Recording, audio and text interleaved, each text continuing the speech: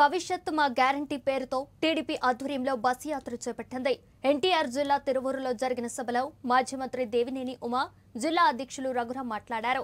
YCP పాలనపై తనదైన శైలిలో మండిపడ్డారు.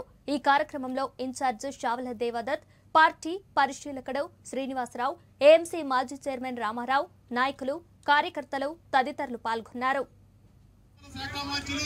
శాఖ మంత్రులు అదేవిధంగా మాజీ మంత్రి మళ్ళీ